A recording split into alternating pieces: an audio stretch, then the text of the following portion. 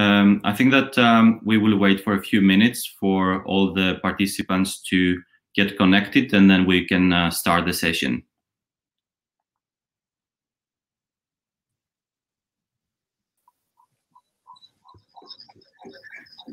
Hello, everyone.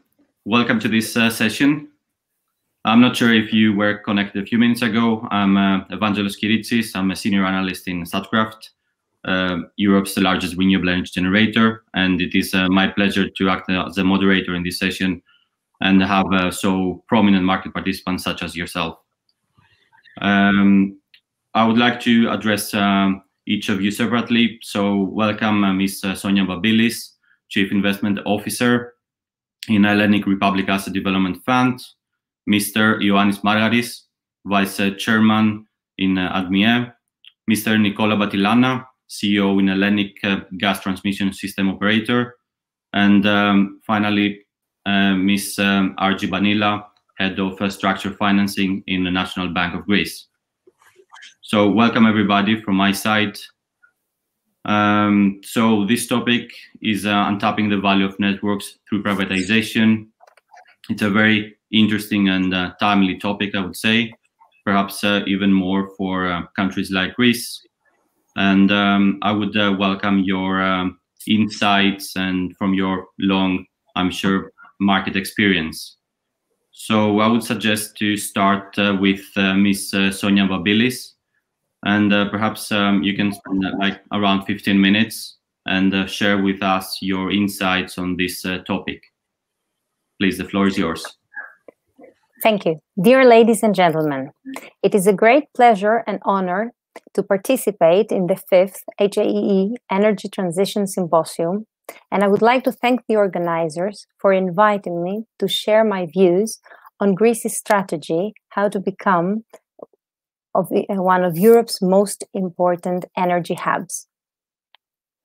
We're facing one of the biggest crises in generations because of the COVID 19 pandemic, sending shockwaves to health systems, economies, energy systems around the world, creating a new reality. There will be light at the end of this tunnel. Science will come out with the best possible solution. Therefore, we need to be optimists and do each and every one of us what needs to be done to create a more sustainable future. In the post COVID 19 era, the need for a sustainable environment, for green economies, and prosperous societies is becoming even more demanding.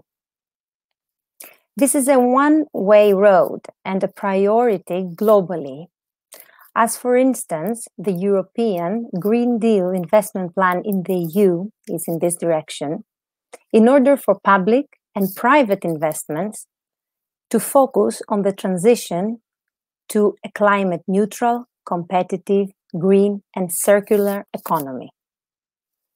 Over the past 10 years, Greece has made tangible progress in modernizing the energy sector and has established itself as a regional energy center at the crossroads of Europe, Asia, and Africa. The Greek government will spend on the implementation of the National Energy and Climate Plan over 40 billion euros in the next decade, as large investments will accelerate the development of environmentally friendly and renewable energy sources.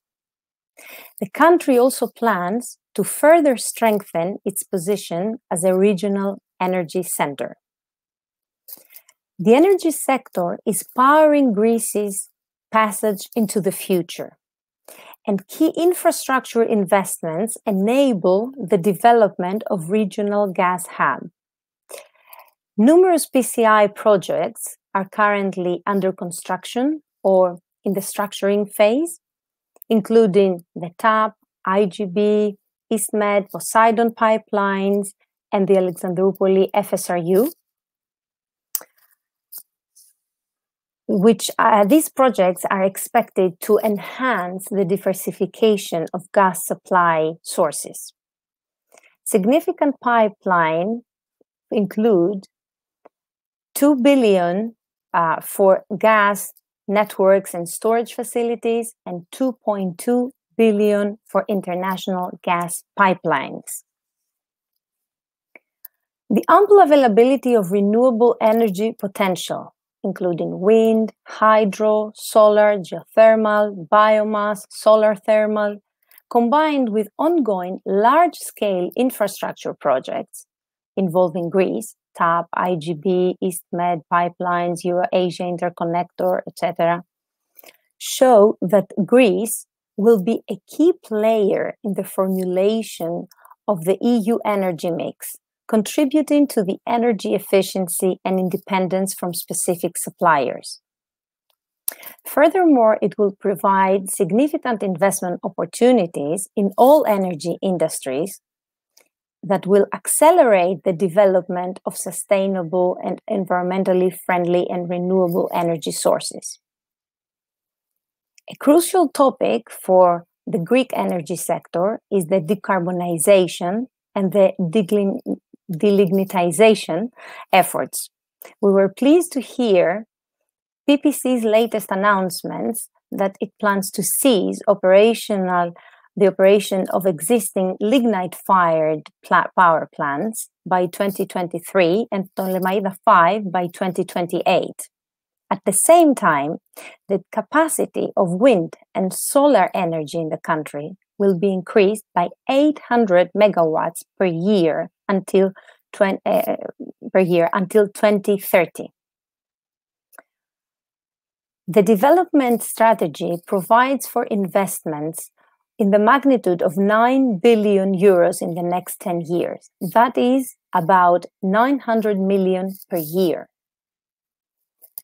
The Greek government has also decided to restructure state controlled electricity and plans the privatization of significant energy assets, such as the two companies of the Public Gas Corporation, DEPA Infrastructure and DEPA Commercial, the Hellenic electricity distribution network operator, as well as move on towards further liberalization of the Greek energy market. Our job at HRADF and the implementation of the privatization program of the fund's energy assets is an additional significant driver towards the sector's further development. We have done so with the successful privatization of DESFA. I firmly believe that the company's new strengths will help enhance the role and the position of, of the country as an energy hub in the EU and the wider geographical region, and will further fo foster system stability. Moving forward, in December 2019, we launched a tender for DEPA infrastructure, and in January 2020 for DEPA commercial. Both companies attracted significant investor interest during a challenging period. Following the coronavirus outbreak, we considered necessary to provide flexibility to interested parties in terms of the submission of the required documentation for their expressions of interest. At the same time, we continued with the evaluation of the expressions of interest received, making the most out of the lockdown period. Six interested parties pre-qualified for the next phase for the 100% of DEPA infrastructure and seven parties for DEPA commercial. Both tenders are now in phase B with investors conducting due diligence in the companies. You might have already heard us talk about a unique and very challenging project, not only because of its technical complexity, but uh, also for its national and geostrategic importance the underground gas storage facility in South Kavala. Plant gas infrastructure, together with the development of the underground gas storage facility, is anticipated to safeguard the country's security of energy supply with a view of establishing the country as an energy hub in the region. This geologically formed gas storage uh, from an almost depleted gas uh, field located offshore, about 30 kilometers offshore of Kavala city in the North Aegean Sea, has ideal characteristics for the proposed use and proximity to key infrastructure. It is expected to be the first underground gas storage facility in the country, contributing significantly to the efficient operation of the Greek gas market. In June 2020, we launched an international public tender process for the award of the concession agreement to use, develop, and operate the gas storage for a period of up to 50 years following the licensing of the project. The tender shall be conducted in two stages. We're currently in stage one, the submission of expressions of interest, expected by October 19th. And after that, we will move on with the pre-qualification of candidates and we'll enter phase B, ending with the submission of binding offers and the selection of the preferred concessionaire. Allow me to present to you the reasons why this is a unique opportunity for someone to invest in the first underground gas storage facility in Greece. Number one, the lignitization efforts backed by the country's national energy and climate plan drive significant investments in gas-fired power generation and renewable energy projects which will only emphasize the long-term importance of natural gas. Greece's low natural gas penetration compared to its EU peers, and coupled with the aggressive distribution network expansion plans underway, solidifies the critical role natural gas will play in the country's energy landscape.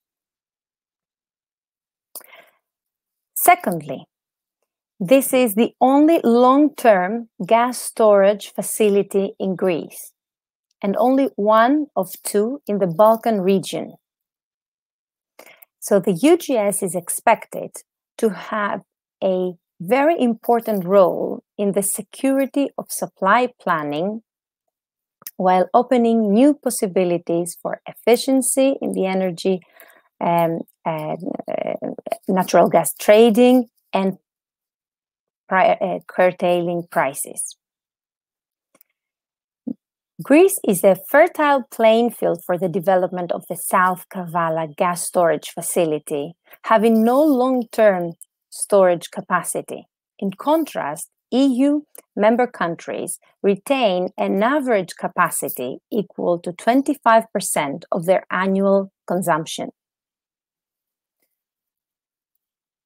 Third, the, the underground gas storage facility will allow operators of natural gas fired power plants without dual fuel to fulfill their security of supply obligations during the winter period, which are currently partially covered by the use of Revithoussa LNG terminal as a stopgap storage solution.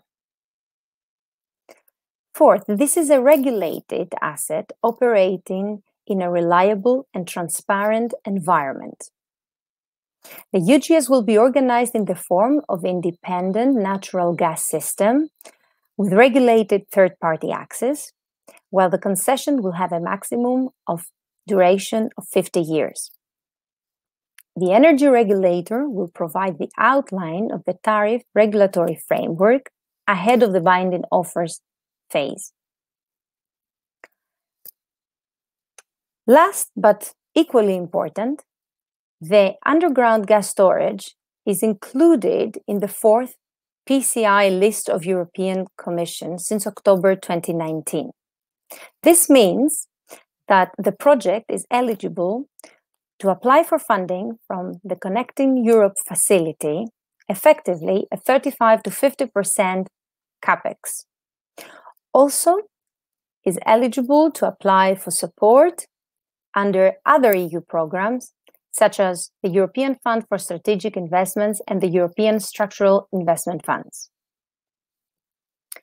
Ladies and gentlemen, while the energy map in Southeast Europe and Eastern Mediterranean changes rapidly, Greece emerges as one of the most essential pillars of security and stability in the region.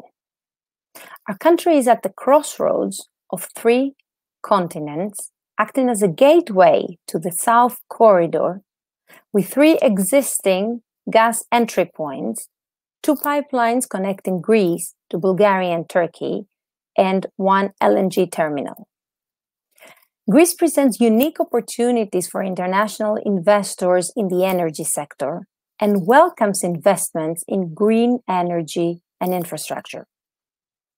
Investors should be confident and with a feeling of trust for the funds they bring in our country, and not to miss the opportunity to position themselves in a promising market. Thank you.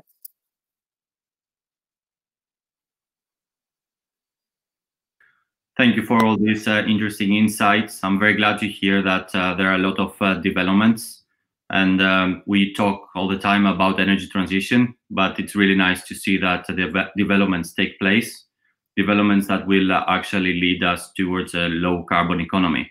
And you have already mentioned a lot of uh, key features of this energy transition, like um, decarbonization. You mentioned the, the I'm sorry, lignitization in Greece. You mentioned about the underground storage facilities, and it becomes very obvious, at least to me, that energy will, uh, Greece will play a very important role in this energy transition, not only for the country itself, but for the whole Europe. Indeed. Thank you very much. Uh, so I suggest that we continue further with uh, Mr. Margaris, Vice Chairman of uh, ADMIE. Mr. Margaris, welcome on board. And uh, please uh, share with us your insights from uh, your own uh, experience. Good morning, everyone, and thank you very much for this invitation to participate in this important meeting. Given the conditions of the global COVID pandemic, the, this kind of public debates becomes even more important in order to make sure that we don't delay the important transitions, the important transformations that have already started in the energy sector. Since the topic of our panel today has to do with networks and the dynamics of privatizations, I would like to make some points, some references from the experiences we have had with IPTO, ADMIE, the Greek TSO, a company that changed its ownership and its institutional uh, structure three years ago. Uh, as you almost probably know, IPTO used to be a subsidiary of the Public Power Corporation until 2017. So in 2017, the ownership unbundling was completed from the Public Power Corporation, and a new strategic investor was included in the ownership structure of IPTO. This example, IPTO, has become, uh, I think, and we believe, a very successful example of an efficient cooperation between the state and the private sector. So let's go back a bit to remember the history of the sector of the electricity sector in Greece. IPTO was firstly founded in 2011 as a subsidiary of the Public Power Corporation and was responsible for the transmission system operation. So after 2017, the Greek state still owns 51% of the shareholder and of the shareholder structure. The State Grid Corporation of China owns 24% of the company, and the rest, 25%, is free floating in the stock exchange. This change in the ownership, as well as this change in the relations with the rest of the institutions in the Greek electricity market, was a big challenge in all levels for the company for the employees in the company, as well as for the, all the institutions in the Greek energy market. This change demanded for a new strategy, a new strategy not only as far as system planning and development is concerned, but also a challenge in all levels of internal structures in the company. We had to go through a radical transformation in all levels of the company in order to make sure that we have from the very first day of the new company structure all the terms, all the conditions for a successful development, for a successful growth of IPTO. With the new form of IPTO, the company had to prove that it can not only plan and design, but that it can also implement significant investment of infrastructure, and I mean basically infrastructure of transmission system in the in the country. This infrastructure had, for many years, and in some cases even for decades, been delayed. We had to position ourselves in the new environment, in the new complex of relations with the banking system in a new complex, in a new environment, with all the market participants. We had to position ourselves in an autonomous condition in the stock exchange, and of course, in new relations with all the suppliers, all the contractors that participate in the construction of our big infrastructure projects, as well as with the energy market players, and I mean the producers of energy, the suppliers, and so on. The new shareholder structure, so exactly this uh, relation between the state and the private sector within one company, gave us the necessary leverage to negotiate successfully in issues of regulation, in issues of contracts with uh, suppliers and contractors, as well as in issues of financing and in general relations with not only the general government, the central government of Greece, but also from the level of the local authorities for projects that we are implementing in their territory, as well as in relations with uh, Brussels for important projects in the country. Since 2017, IPTO has been has developed, has grown, and has become an even bigger company within only three years. State Grid Corporation of China, which is the system transmission system owner in China, is one of the biggest companies worldwide in terms of capitalization and has contributed not only with capital but also with technology knowledge and we have been using this technical knowledge of our investor in order to incorporate mm-hmm. that in our planning and in our future development for the transmission system i mean i think you can all understand that uh, ipto being part of the old public power corporation uh, had to go through a deep cultural change as well the coexistence of executives and of employees from old companies like Public Power Corporation or DESMIE in the past, but also executives and employees from the market and from a foreign company such as State Grid, demanded the development of new management rules, the development of new rules of operation for the company, and most importantly, new skills from our employees. We had to rationalize processes and methodologies. We had to introduce the term, the basic concept of cost benefit in all the aspects of our activities. And we had to make the timeline of the execution of the expansion of the system expansion projects the key for success. These challenges were not only inside the company, there were also challenges in the outside environment. And by that, I mean basically the relation of IPTO with uh, other institutions, but also the way that other institutions were used to be to see IPTO. And I mean the regulator, the Ministry of Energy, but also international organizations. So this shift from the previous environment of operation of IPTO uh, created new conditions in order for IPTO to be able to develop its own strategy as a transmission system operator and its own strategy as an investor in infrastructure. So basically the same challenge was also an opportunity and an opportunity that we had to take advantage of in order to transform to the biggest energy investor in the country at the moment. So these challenges were also combined with the potential to focus on the very, very core of our own development as a company. And the core of the development for our company is the development of new transmission system around the country. And of course, big part of that are the interconnections of the islands that had been delayed for many years.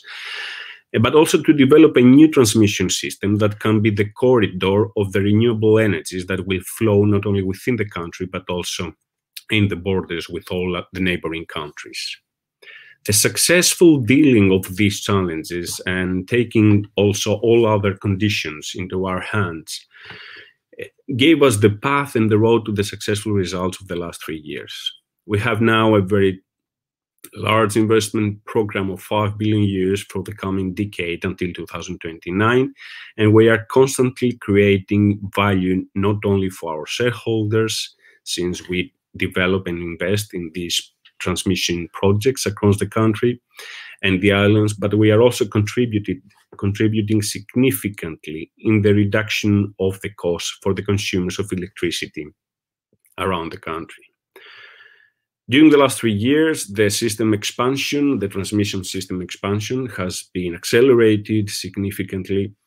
And in order to give you a few numbers, during the last three years, we have contracted projects of around 2 billion euros in 2017, our investments were on the level of 70 million euros. In 2018, this number went up to 178 million euros. And in 2019, we achieved 250 million euros of investments. 2020, despite all the COVID pandemic restrictions, we are also estimating that we will go higher than 250 million euros of investments. We started by giving emphasis on the interconnections of the islands and mainly the Cyclades region.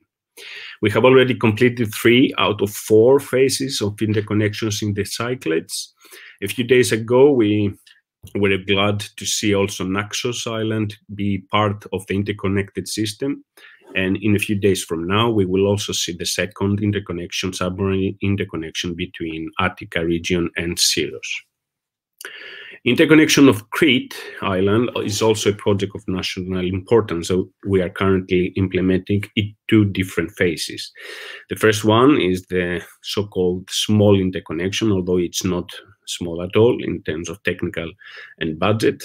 Between Crete and Peloponnese is currently under execution, and we are working to complete this interconnection in the coming months.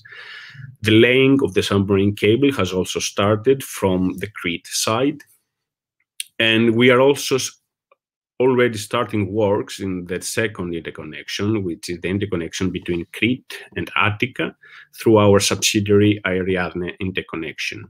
This is one of the biggest construction projects, infrastructure projects that has been announced in the country during the last years, together with the project of Elliniko and the fourth uh, metro line in Athens. Last June, we signed the contracts with our contractors in Crete and works in uh, Attica and in Crete have already started.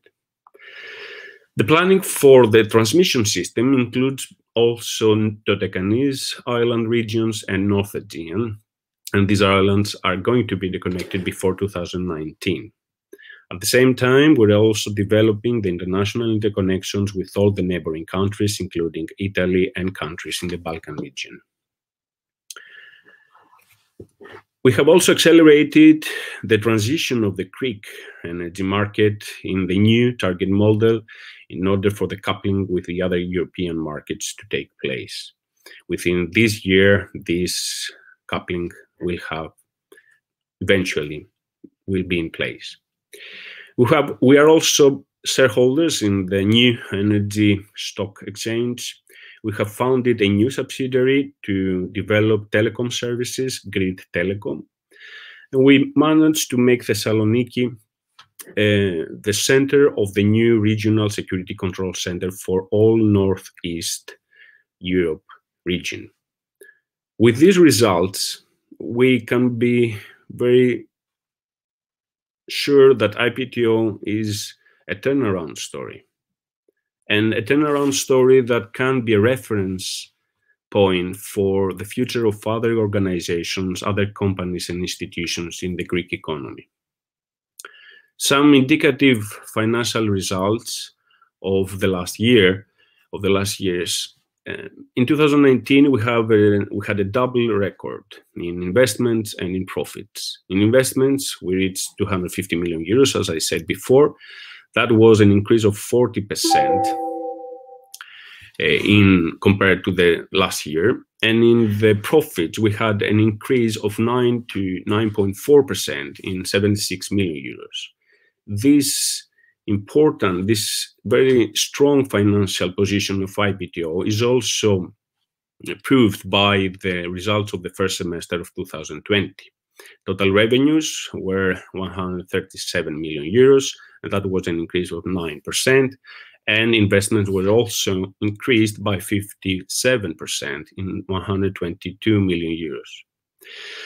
This improvement in the financial results was achieved through rationalization of our OPEX, and this includes several aspects, among which is also the, salaries of the employees, but also the improvement of the financial expenses.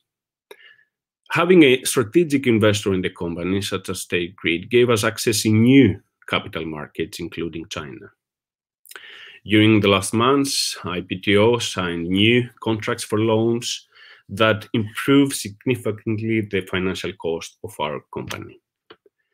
And this is how we are very confident that we have a very good condition to implement our investment plan of 5 billion euros for the coming years. For the Crete Attica project, a project that has a budget of 1 billion euros, we are going to use 200 million euros for own capital, from our own capital, 400 million euros from European grants, and of course, our contract that was signed a few weeks ago with Eurobank for 400 million euros. At the same time, a few days ago, we had a new loan agreement for 400 million euros with National Bank, Bank of Piraeus, Bank of China, and Alpha Bank. This agreement is the first agreement in with which many Greek banks and, of course, Bank of China cooperated in the same agreement. And this will be used for refinancing old loans, but also to help us in the moving capital for IPTO in the coming years. These results have been uh, taken very positively by the investment community in general. We had a recent report by Eurobank Equities that sees a potential for growth for more than 50% compared to previous and current levels and includes our stock in the portfolio of its main investment options. We are expecting to see an increase in the regulated asset base of the company and we are expecting to see a, rate of development in profitability by more or less 10% in terms of EBITDA during the next five years. So we are expecting, based on this report, uh, to see more than 130 million euros benefits for the shareholders from IPTO Admie Holding. And this is more or less uh, a, a return of around 5%. The strategic role of IPTO is not only restricted in the transmission system expansion and in the 10-year network development plan that I presented previously. Our target is to make the transmission system operator of Greece an enabler of the transition of the country to green power, to renewable energies. And of course, the driver behind this is the decarbonization and the decarbonization plan of the country. We are very much interested and we are fo focusing currently in playing a key role as well as in the storage of electricity as well as in the development of offshore wind power that is going to be developed in the Greek seas. Uh, most of you probably know that offshore has been going on for many years in North Europe and elsewhere in the world. And right now, technologies are available to also start developing important projects in the Greek Aegean. For this, for offshore, but also for storage, we are cooperating both with internal Greek companies, but also with international companies in order to develop specific projects. So trying to make uh, let's say, a conclusion in these remarks, I would say that the model of IPTO being a company of having a strategic investor, having the Greek state, but also having a presence in the stock exchange, is a model of how companies can make sure that despite the difficult conditions of the global economy, we can operate efficiently and we can go over the previous old model of the state-owned companies. And this can be done in the benefit of the consumers and the Greek economy in general. This is also not only in business terms for IPTO, since we are implementing very rapidly the interconnections in order to reduce the cost of supply of electricity, but also in terms of financial conditions, see we, since we are achieving high profitability for our shareholders. But one indication that I consider probably one of the most important uh, conditions for the long-term growth of IPTO is the fact that we are attracting human capital, and I mean executives, engineers, uh, educated people, not only from Greece but also from Europe, people who want to work for our projects since they see high potential of career also in our companies. And these people are currently being employed also in our subsidiaries, for example, in Ariadne Interconnection that is implementing Crete Attica. And these are the same people that, that we are going to be based on to implement all our new projects in the future. So it's very important for us exactly because we have the specific role in the Greek energy market, but in general, as a company of infrastructure investment in Greece, to see other turnaround stories in other companies and institutions in Greece as well. This will create an even better dynamic to achieve the biggest challenge, to my opinion, for humanity, which is the energy transition climate change and of course the, the global pandemic environment that we are currently facing is the field that we as a generation have to give a response to. And in order to give a successful response we need to have very efficient organizations companies and institutions. Thank you very much for your attention. Yes, I think that um, you shared with us a lot of interesting uh, points. I think you made clear that uh, the IPTO, the Independent Power Transmission System Operator, can play indeed a significant role in uh, this energy transition and decarbonization, and uh, particularly for Greek islands, as you said, with uh, the projects that you before mentioned. Um, I don't know. I started writing down some of your some points that you raised, and there are so many. There are a lot of uh, developments that really promise this acceleration of uh, decarbonization. You mentioned the strategic investors. You said you do see the challenges as opportunities, and um, I can only agree with you that system expansion, that your new target model, market coupling, storage, can only help this energy transition move forward in a higher speed.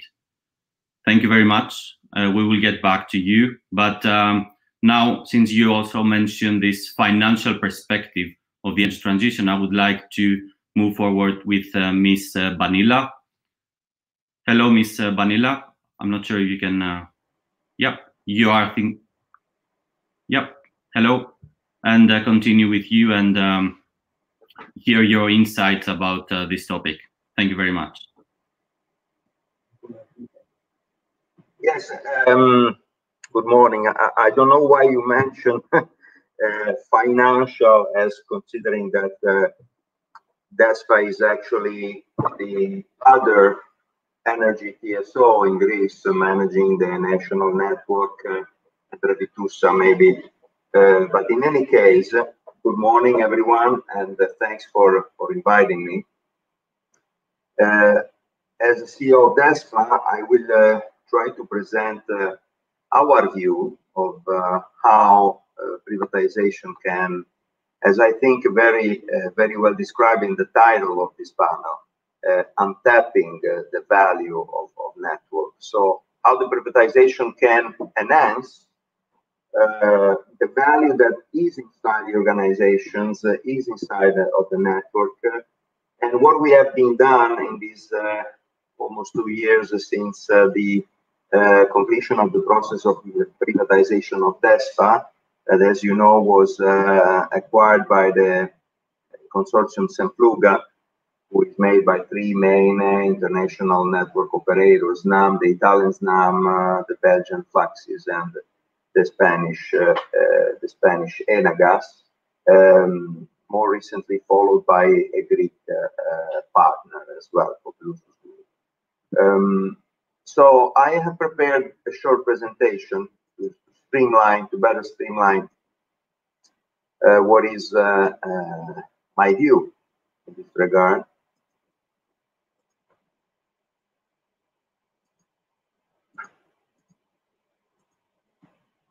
think a few a few minutes. Please tell me if you can see presentation. Hello again. Actually, I meant before that uh, Mr. Margaris mentioned a lot of financial aspects, and that's why I would like to introduce uh, Miss Banila. I'm sorry for ah, sorry. this uh, error. So please, uh, Miss Banila, the floor is yours. Thank you very much. Thank you very much. Good afternoon, uh, uh, everyone. Let me first congratulate the Hellenic Association uh, for Energy Economics on organizing a successful conference this year, despite the obstacles created by the pandemic. And of course, thank you very much for giving me the opportunity to be part of this panel today. National Bank of Greece constitutes the leading local banking franchise for energy initiatives in Greece. We have an outstanding credit portfolio, 4 billion euros under management, that places us number one. But most importantly, we do have a firm institutional strategy to sustain our top ranking. We target another 3 billion euros of uh, investments, particularly in the energy sector, over the course of the next three years, and of course, a substantial part of that is going to be channeled towards uh, privatizations related to uh, the Greek energy networks.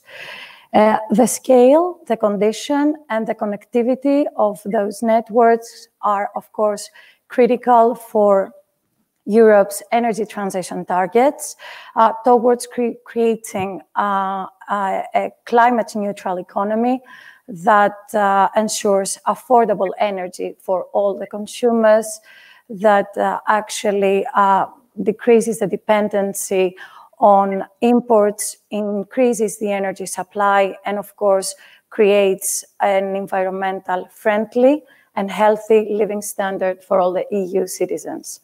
All of us at National Bank of Greece see ourselves as being directly involved in such efforts year to date under either financing or financial advisory capacity. We have led all uh, Greek networks associated uh, transactions that they have been marked in Greece. Indicatively, I could mention the uh, full ownership unbundling of the independent power transmission operator launched between 2016-17, uh, that was previously mentioned by Mr. Margaris as well, that technically resulted in the stake uh, sale of 24% to State Grid and also the subsequent listing of IPTO Holdings in Athens Stock Exchange. A year later, in 2018, we constituted the sole uh, financing counterparty of a euro 360 million uh, uh, debt financing for the acquisition of DESFA by the international consortium of SNAM, Enagas and, and. As it was already mentioned uh, before, we also, it was with just a couple of days, actually concluded another 400 million euros debt financing for the independent power transmission operator, in which NBG subscribed the largest ticket amongst the syndicate banks. And we also assumed the leading role of the deal coordinator and construction bank we do have a very robust appetite uh, to, to, participate actively in the upcoming capital expenditure plan of DESFA as well. Effectively, our con contribution in un un unlocking the value of networks is holistic. We do assist uh, international uh, investors and local investors to uh, to join and participate in the in the tender processes. Uh, we also support, though, post the completion of the privatizations, their undisrupted investment plans uh, towards uh, upgrading and expanding the actual networks themselves. NBG is currently enjoying uh, the, the, the, strongest liquidity amongst its peers in the local market. And as such, we see our institution being a natural fit to lead uh, the, the uh, important privatization agenda of the country, more than 50% of which relates uh, to Greek uh, energy network privatizations. Concentration risk in a bankable format can be largely assumed by NBG, and this is something that we have seen uh, to be well, well received by uh, the investors, allowing them to, uh, to, to, deliver the underlying mandates with speed of execution, while ensuring the, the absolutely necessary certainty of funds for the successful conclusion of these transactions. As a final remark, I would like to make special reference to our integrated corporate and investment banking team uh, at uh, NBG, which beyond its typical uh, commercial lending uh, activity, it is uh, uh, also established particularly to address technically complex transactions in line with the international organizational standard of the various international competitors of NBG. uh, we have created and integrated NBG's CIB team that fits as a one-stop shop, both for financing, structured financing, and advisory services to our local and our international uh, clients. Particularly for our international clients, our, our teams remain extremely uh, focused to align their banking experience with the global standards and international banking practices, so to ensure that we contribute to make their investment journey in Greece as smooth as possible. Thank you very much.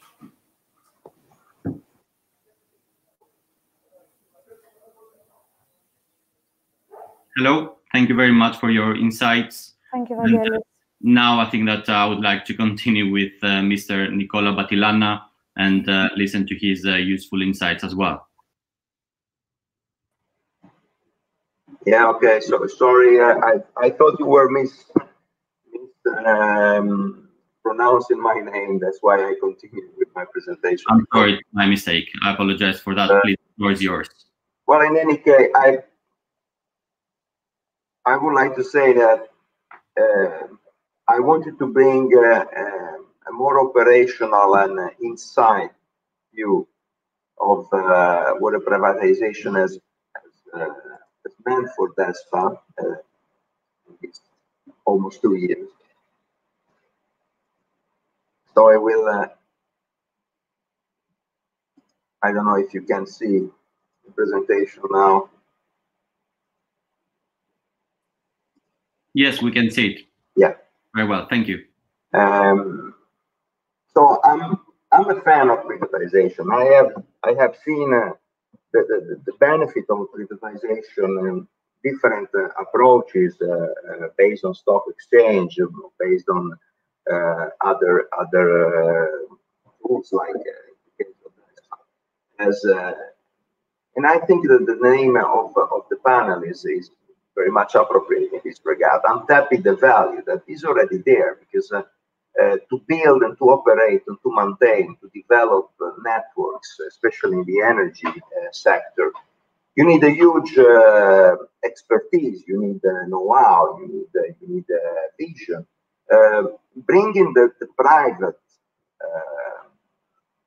framework into, into, these companies is, is allowing to, to reach the dimension to increase uh, several areas uh, that are enabling further growth, uh, adding value to the company, and, increasing the speed of the transformation of the energy framework. In DESFA, we have seen and we have worked in three main pillars in this regard evolution and the repositioning of, DESFA, uh, the internal transformation, and the business development. By evolution and repositioning, we mean uh, taking into consideration the new framework uh, where uh, the company was uh, situated as a new status of private company. This was uh, enabling um, many to, to start removing many constraints from, from procurement regulation, internal procurement regulation to uh, having access to um, uh, hiring uh, and, and new organizational tools, leveraging on the shareholders' knowledge and expertise, and taking into consideration the growth of the natural market here in Greece because of the important uh, decisions that have been made in the uh, lignitization of, uh, of the production of electricity uh, linked to the market design the interconnections of Greece in the in the whole Balkan region and uh, Southeast Europe uh, with uh, with the new investments that are uh, now very close to the entry in operation, primarily TAP, which will connect DESFA and DESFA network and, and Greek market to the huge market of Italy. Um, the critical engagement uh, of, of, the company, so to try to, to foster and to and to enhance uh, our relationship with the other European and Greek stakeholders, um, groups, organization, uh, also giving more strength to our public relation and external communication. And to activate uh, DESFA roles uh, in uh, groups, projects, and initiatives in the area of alternative fuels, green, transport, green transportation, um, hydrogen, and but also strengthening corporate social responsibility in specifically in regard to the communities uh, where uh, DESFA is, uh, is present through its infrastructure. The, the, relation with the territory is always very important for, for, for us because our infrastructure are located on, on the territory and will remain there for 15 more years. And the, and the active and proactive uh, and uh, transparent uh, relationship with, with the the territory, with the people, with the stakeholders is extremely important for us. In regard to the internal transformation, uh, main areas uh, were and are related to people. The, the first uh, the first success was last year to achieve a new collective labor agreement uh, with the unions of the company, enabling uh, enabling ability, meritocracy, uh, to, to, to, link remuneration to the result of the company. Uh, we work on the career and succession planning, uh, the hiring processes. We we developed uh, and uh, we will soon have a new internal communication portal, um, as well as a new organization to, to better streamline the, the challenges that in the organization needs to be clearly allocated and the responsibilities, of course. Um, in order to support the reorganization and, and the, the, expansion of the company also in, the, in its business, uh, we started to design uh, a new IT strategy and, and the roadmap to, to the evolution of the IT, of this IT strategy in the next years. Um, we launched uh, a program, a program of digital transformation, streamlining uh, the, the need and started to change the main uh, the main tools that uh, uh, and adding new tools to in order to better cope and especially in regard to reach to increase um, the speed of the internal processes and to enhance um, a, a significant reduction of time to market in new, new investment, in new, business. Uh, we were also able to test, uh, fortunately, because of the COVID crisis uh, at the beginning of the year, uh, the effectiveness of uh, some of our projects and initiatives uh, because the company was was totally uh, able to uh, to remote from to work from remote and also to introduce uh, uh, further flexibility in our uh, daily maintenance operation with workforce mobile organization, etc. we we also started to consolidate internally the know-how of the company and to introduce a new a new framework um, with compliance uh, system, with corporate framework, uh, um, uh, reviewing all the complex and, and vast uh, internal uh, legal and procedural framework of the company uh, through a very detailed and demanding business process reengineering that interested all of our organizations. And of course, uh, uh, the last uh, and important pillar of business development, we we are now engaged in a, in an investment plan which accounts for more than 500 million in the next few years. Uh, these investments are mainly related to the development of the demand in Greece, uh, reaching new areas like West Macedonia, Western Greece, but also uh, interconnecting with the neighboring country like North Macedonia. Um, we are also uh, interconnecting the network with, with the TAP. The project will be uh, soon uh, completed uh, in the next uh, month, basically.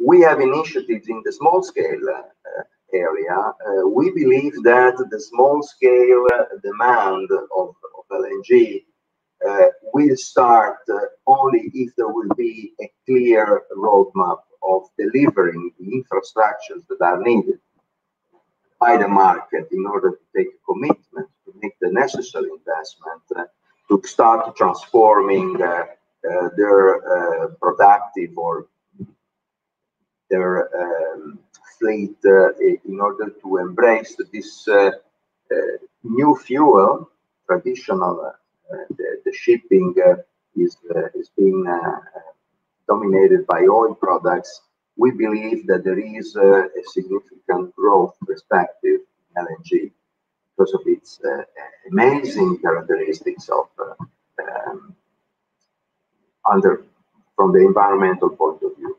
Uh, these projects uh, will be uh, will be soon.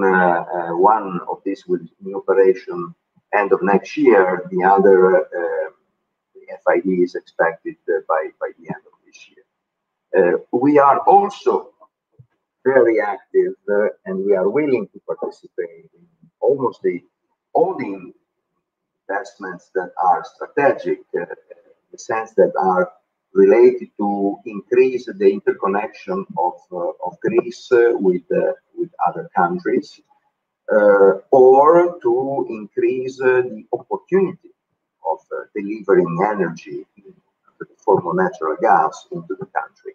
Increasing liquidity is uh, one of the main uh, tools to uh, increase the flexibility and reduce and reduce the cost uh, of, uh, of uh, energy in the country. Uh, we also see opportunities uh, in uh, overseas, outside Greece, outside Europe, by participating in international uh, projects where our know-how and expertise in managing one of the biggest uh, LNG terminal in the Mediterranean uh, might be key. Uh, and uh, we are now in a final stage um, regarding to the KIPIC project, where one of the biggest regasification plants is uh, is going to be completed uh, next year, and we are in the final stage, and we are um, really close to uh, an award in that regard. It's, it's a great opportunity for DESFA and for our stakeholders start operating in an area where uh, natural gas uh, is, uh, is key and, strongly uh, growing. Uh, last but not least, hydrogen. Uh, hydrogen, we see hydrogen as, as the future in, in as a gaseous, as a gas fuel. Uh, we uh, believe that our networks uh, will continue to operate with hydrogen, with a mix of hydrogen uh, in, um, to be delivered. We are active uh, uh, following the example of our shareholders on most of the tables that are now under undergoing in Europe in regard to the assessment of the network, existing networks, to, to be able to deliver hydrogen, to uh, design the new infrastructures as hydrogen ready, and to see and to evaluate and to pursue all the opportunities in regard to the possible use of hydrogen, uh, either alone or related to hydrogen, to natural gas. So this is what uh, what we are doing so far. Uh, I think that uh, the example of DESFA is, uh, successful example so far in the, the in the in untapping the value of uh, of the network. Uh, and uh, I I'm finished with my presentation, and I thank all of you. Thank you very much, uh, Mr. Nicola Battilana. It was a really interesting presentation. Uh, indeed, it seems to me that, uh, and I'm sure to everyone, that uh, DESFA, the Hellenic Gas Transmission System Operator, plays a very important role in the energy transition. You mentioned so many interesting uh, developments about regasification, blue hydrogen, the strategic investments, uh, but also the interaction, how important the interaction is with uh, other stakeholders and something that um, I was really glad to hear was about this new program that you introduced with digital transformation. And then you mentioned the speed of internal processes. I think that this is really important because speed really matters in this energy transition. And we saw that uh, it was last month the European Commission announced, actually raised the greenhouse uh, gas emission reductions targets for to 2030 from I think uh, 40 to 55 percent, and um, I'm sure that uh, we need very good coordination between the different stakeholders. Thank you very much for this um, nice presentation. And um, at that point here now, I would like to thank all the participants for um, the very useful and interesting insights. Um, I would suggest that um, perhaps I can um, raise a few short questions and uh, maybe each of you can uh, spend uh, one, two, three minutes. Um, it depends on how much you would like to uh, share with us on these topics from different angles and different points of view. So, for instance, I would like to uh, ask you about uh, the different key ingredients for this successful privatization process, like reforms that maybe stimulate competition, because this is something in my opinion, necessary in order to boost and uh, accelerate transition, as well as about other regulatory reforms that you think that are needed. So please, um, perhaps we can start with uh, Ms. Babilis. Uh, I'm sorry, I think that you're muted. Could you please? Uh... You're right. sorry about that. Um, so obviously there are ingredients that uh, we control and ingredients that we cannot control. Uh, for instance, uh, in ingredients that uh, we cannot fully control is the macro environment. Uh, a conducive macro environment will obviously um, uh, help a privatization. Um, before co the COVID 19 outbreak, we saw a very significant interest in uh, Greek um, assets, especially in the infrastructure um, sector. And uh, I have to say that most of this interest has remained uh, uh intact um, throughout this difficult and challenging period. Uh, with the exception perhaps of specific sectors as the airports that have been um, very heavily hit globally.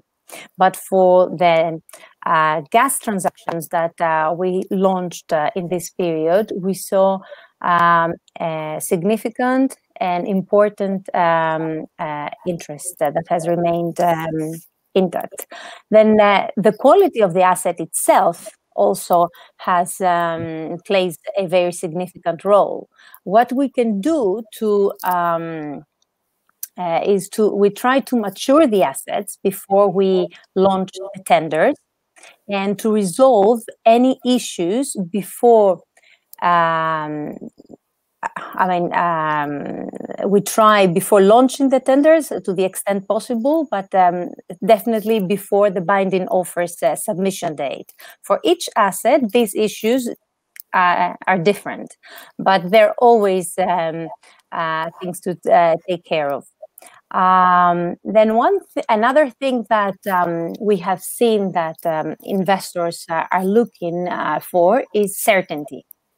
So they need um, um, uh, clarity of process and transparency. And I think that we at HRADF um, have um, um, have a very um, solid and transparent framework under which we operate. Investors are familiar with it, and they're confident about uh, the way uh, our tender processes um, uh, will progress. Especially in the energy, uh, as far as the energy assets are concerned, investors will also need um, clarity on the regulatory framework and, uh, and, and RAE, the regulator, has uh, works towards uh, this uh, this end, and a lot of progress has been uh, made in recent years. So we always try to have the regulatory framework finalized before. As soon as possible, and definitely before the binding offers submission um, date. And um, last but not least, uh, in, in, a privatization, there are many people, many parties involved. Um, so uh, the alignment of all these different stakeholders is very important. So you have, for instance, the company itself that is being privatized. You have uh, um, HRADF, you have the regulator, the ministry, the shareholders, uh, even the, the institutions and um, the DG um, director, uh, the, the European uh, Commission director. So everybody has to be aligned for a successful outcome. Thank you very much, uh, Ms. Babilis. I totally agree with you that transparency, clarity, and uncertainty, of course, is always there in the market. But uh, if we could uh, reduce it in order to attract strategic investors, I think that would be great. Thank you very much for your insights. So I think that uh, I would like to continue with uh, Mr. Ioannis Margaris. Again, thank you very much for your insightful presentation. I found it very interesting. Um, please, if you have um, any comments.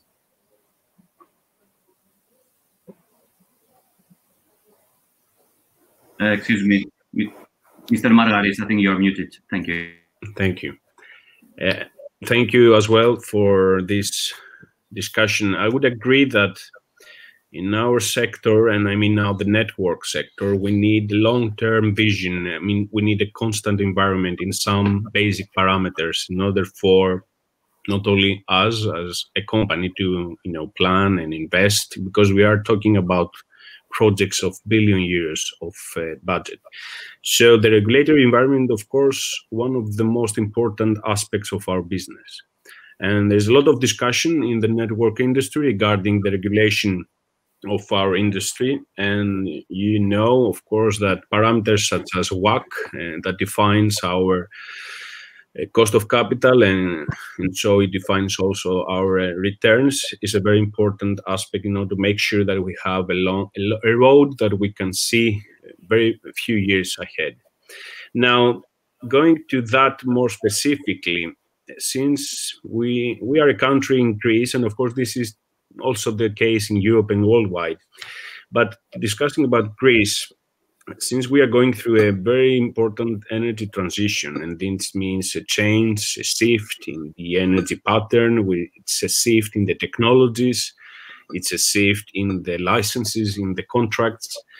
Um, we think that it is time to start the discussion about regulatory incentives, and that means basically not only having a regulator that makes sure that the plans are being kept, but also having regulatory incentives that gives us the incentive in terms of financial um, uh, returns to achieve our targets even faster if possible or to introduce new technologies in the sector. For example we are discussing about storage we are discussing about offshore and i think this is a, a would be an important aspect for uh, tsos uh, ipto at least to invest in such technologies even faster than than planned now, a second aspect I would say in, in linking to the issue of competition apart from the target model that you all, everybody knows that it will create a new competition environment for the Greek energy supply.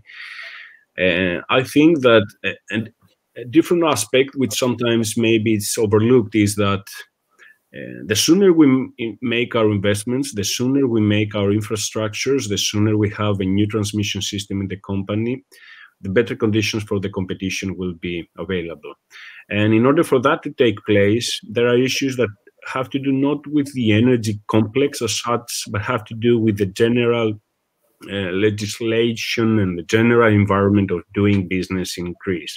And I can mention, for example, the permissions that we need to take in order to make our investment in our infrastructures, permissions that start from a very local organization up to the central government. Uh, and there is space for improvement there. And we have seen that the critical route of our transmission expansion, and that basically means our investment uh, plan, uh, the critical route is being defined by these uh, permission procedures. That now, if we can focus there and find ways of having more fast track permissions, taking, of course, into account all the necessary environmental aspects of our projects, that would create a very, very competitive environment for more renewables to come in and for other aspects of uh, smart technologies to come in the system. Uh, last but not least, uh, and I mentioned it in, during my introduction, is that within a sector, and I mean, uh, for example, electricity, as far as we are concerned mostly, it doesn't only take one to, to make a change. We need to see turnaround stories all around the sector. Um, of course, these changes, these reforms are not easy to take place. Um, we know that. But I think that we have examples now in Greece that things will start to being reformed. And I believe that before 2025, we can have a different energy sector as a structure. Um, we need to make turnaround stories both in the companies, but also in the state institutions. Um, and I think the regulator will play a significant role in that, but also, of course, the national targets and policies. Thank you. Thank you very much, uh, Mr. Margaris. Uh, totally, the permission, the speed of permission procedure is uh, very important, and I think it becomes obvious, at least from this session, that the value of networks to the energy transition is very important. And um, not only that, it's also that I would say that the interaction between different stakeholders, and I think up to my knowledge, in different parts of Europe, also the interaction between and coordination between transmission networks is evolving in order to actually move forward faster.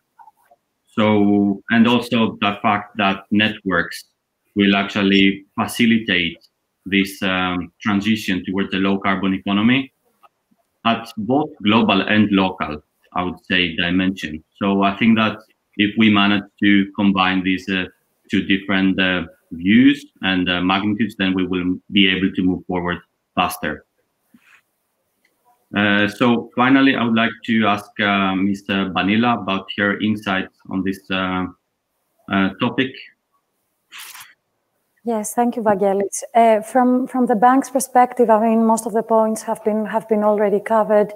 I would emphasize the, the, the clarity on the transaction perimeter that is very much related to the regulatory framework.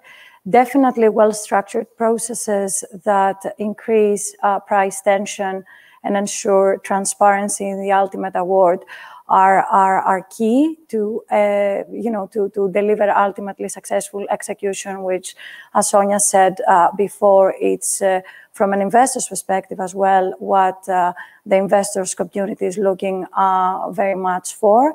And ultimately, I would only add our track record in delivering successful processes itself the more we're delivering our undertakings and the more successful transactions that we conclude, this becomes a credential itself and uh, you know makes uh, the country and all the associated transactions uh, more investable.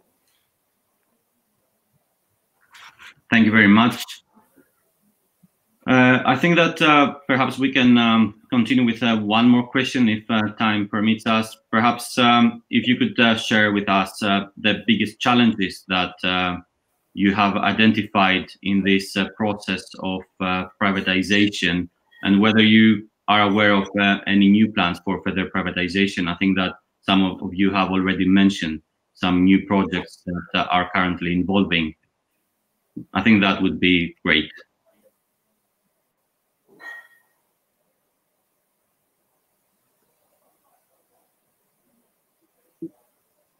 Yes, Mr. Margaris. No, there, there's there was a, some kind of problem in the sound. I, I lost the, the, the bit of the question. Oh, no worries. I can uh, repeat. I was saying that um, if it was if you could share with us some of the biggest challenges that you have identified during this process of privatization, and whether you could um, name a few projects that um, are planned or are currently happening. Um, well, I think I made a reference in the introduction. Um, the biggest challenge is to make sure that the the new the new structure, the new the new relation in the shareholder level, first of all, that this will be represented in the operation and in the business of the company directly. And by that I mean that when you have enterprises that are of such size and uh, coming from these sectors, you know, electricity and of course gas sector, but uh, I will speak about electricity sector, are let's say very heavy sectors. Transitions and transformations are not taking place very easily. And this is not the case only in Greece. This is a worldwide case. And this has to do with the peculiarities of the, of the sector itself. Now that that creates a very strong culture. And when I mean culture, I don't only mean behavior issues, you know, behavioral, uh, cultural uh, identities. I mean, this culture is very strong in terms of creating procedures and methodologies and ways of doing business that is not easy to transform. So one of the biggest challenges of uh, IPTO's case was to make sure that we identify very clearly the targets of our company and that is existential. Who we are what is our business what is our target what is our role in the in the sector. And this is not only an internal challenge as i said. This is also a challenge to make sure that all the market and all the, the community around us and the environment understands that there is something different now uh, lying ahead now that was the biggest challenge i would say and i would give an example for that we I think it would be easier for everyone to understand. Um, being part of a large company, for example, being part of public power corporation, mean, means that the strategy itself is defined by the restrictions of the group of companies that belong there. Now, public power corporation had production, had supply, had transmission, and had distribution as well. Now, distribution is still part of the public power corporation, in Greece at least, uh, transmission was the first sector that went out of these old uh, vertical integrated utilities in Europe uh, through European guidelines. And so the transmission system was somehow developed during the previous years, taking into account that we have the, Public Power Corporation as the basic uh, player. Um, I don't think it would be possible to achieve the results and the investments and the transmission system expansion that we have achieved during the last three years being part of such a vertical integrated company.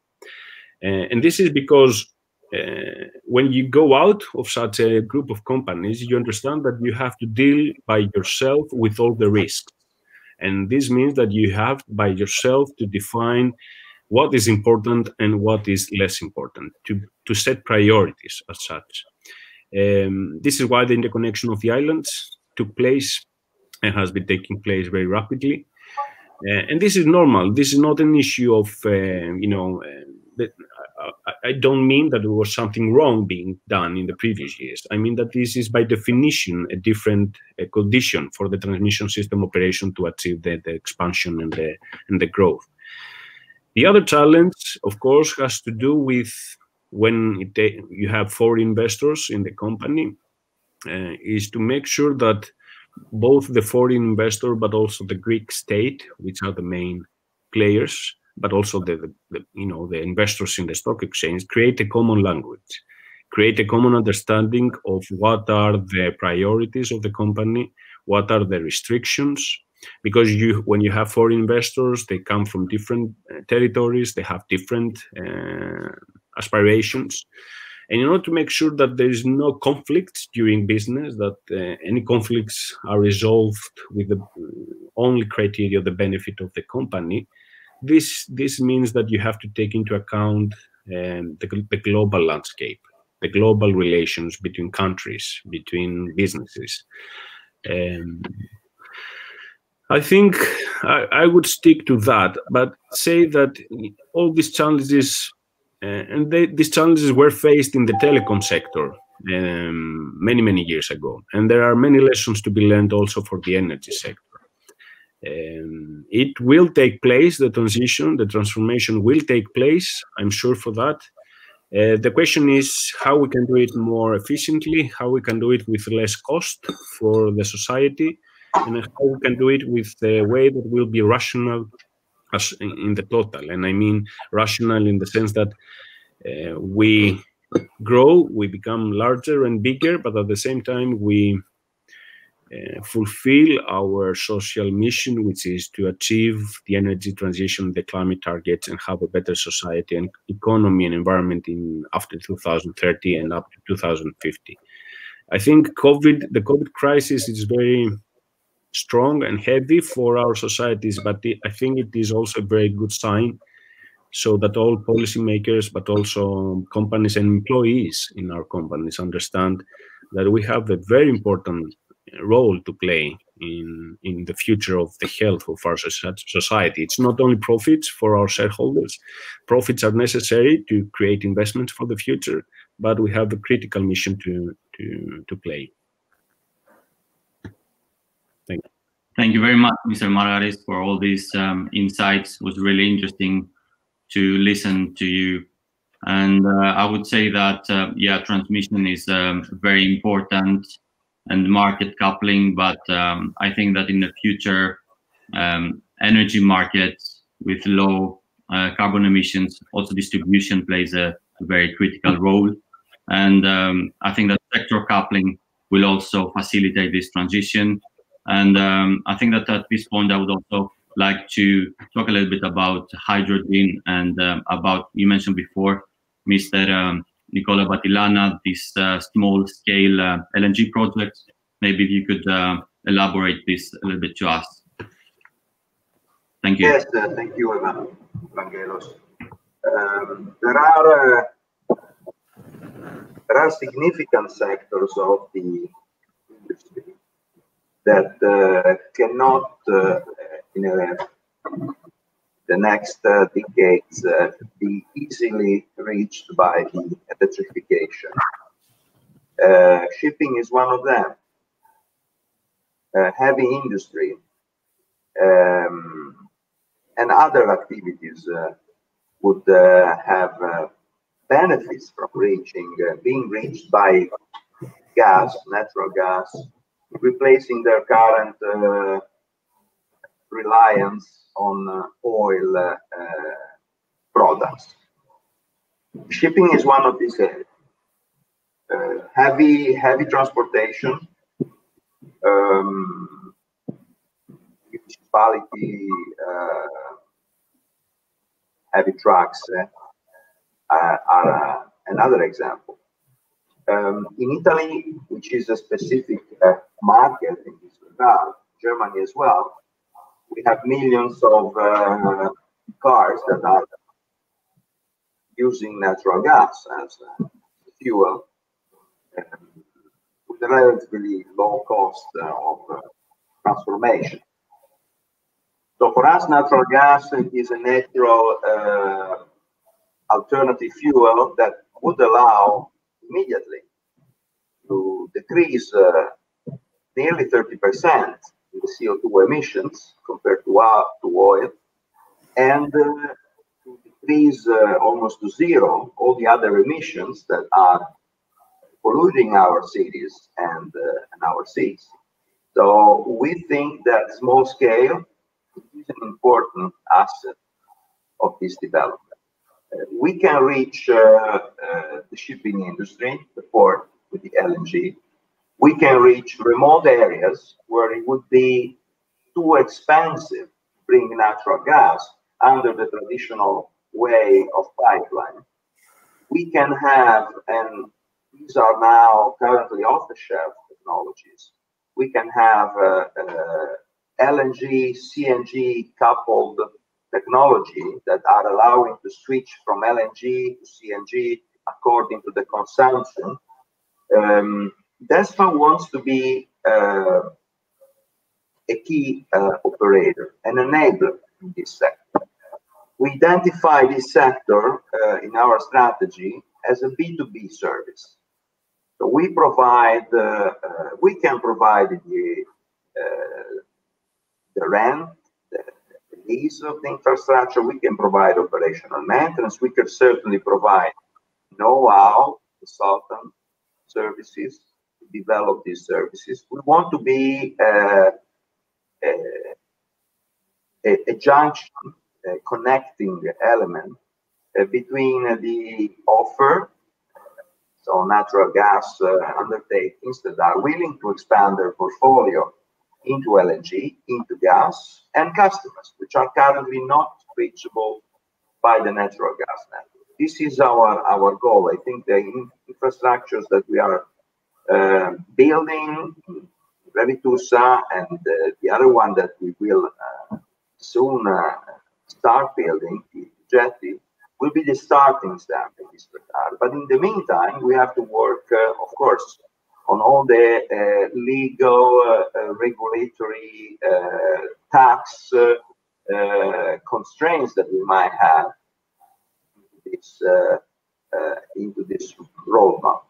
So it is a challenge, and we have to look at other European markets, member states that are already advanced in this process. We see a lot of interest from the shipping area. In regard to hydrogen, I think hydrogen must be seen as a future uh, in the next uh, 35 and, above years.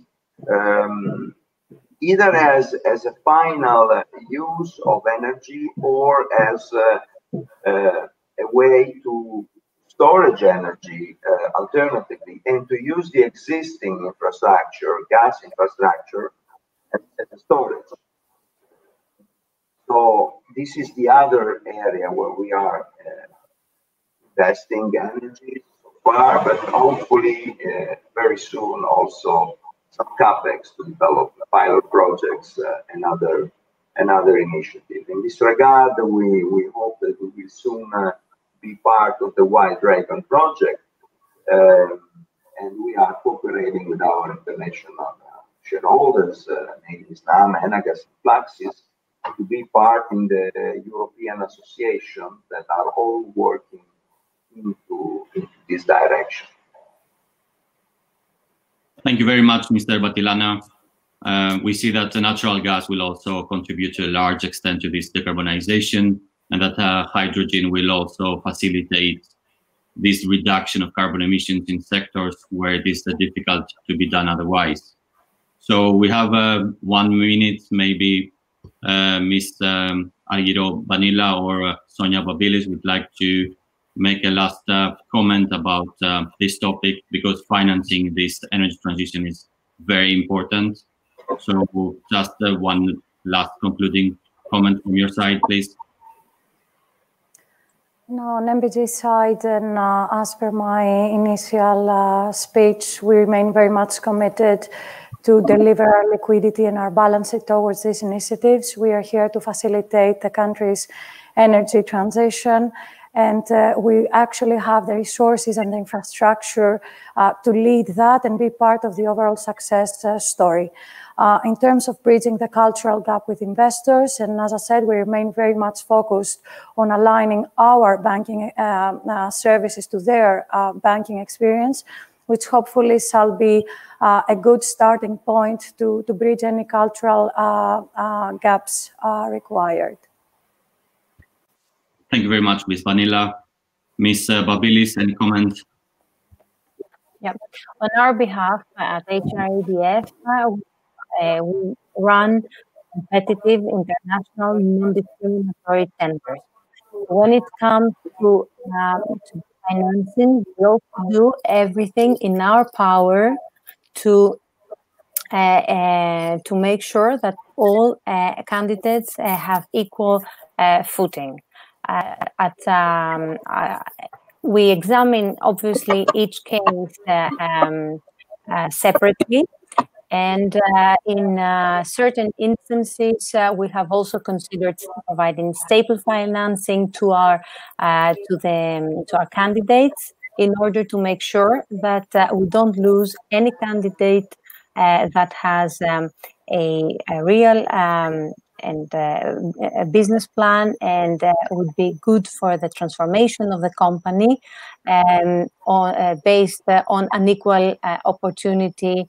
Thank you very much, Mr. Babilis. I would like to, at this point, to end this session, and I would like to thank each of you separately for your uh, very useful insights and participation.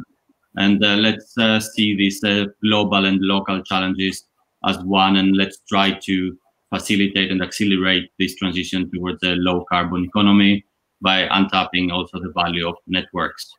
Thank you very much, all of you. I wish you a nice day.